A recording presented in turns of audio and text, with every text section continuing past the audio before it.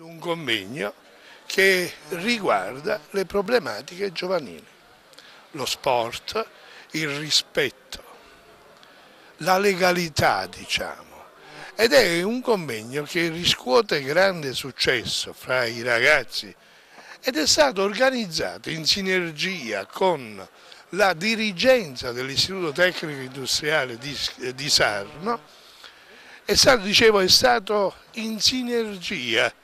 e il dirigente scolastico ha accettato di buon grado questo convegno perché ha capito che lo spirito dei ragazzi dell'associazione Sarnica Universitas era uno spirito costruttivo e certamente non quello di apparire solamente. Solo lo sport fa nascere dentro le persone il rispetto per il prossimo e far sì che si, si crea prima il cittadino e poi membro attivo del sociale. Questo è un luogo deputato alla, alla formazione, all'istruzione e soprattutto alla cultura eh, e questo è un momento culturale. Quindi veramente sono contento di vedere che anche l'associazionismo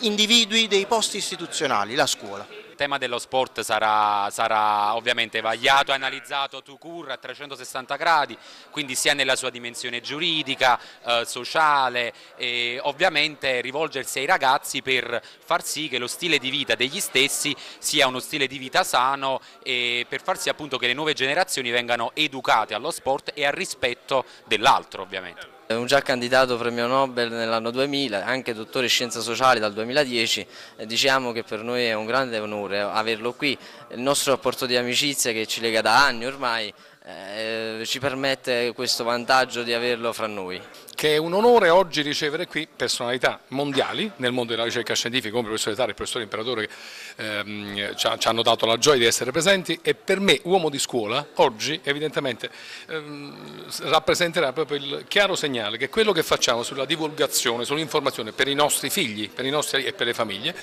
può lasciare una traccia veramente concreta. Io trovo sempre che la comunicazione di sport e eh, gioventù è una cosa molto importante.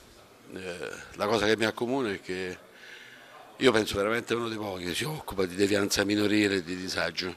cioè per cui dirò tutto e non dirò niente, perché noi siamo i colpevoli di una società che non sa rispettare il patrimonio dell'infanzia. Col doping che è una grossa, per così dire, piaga, legata presumibilmente anche al giorno d'oggi all'esasperazione delle attività sportive,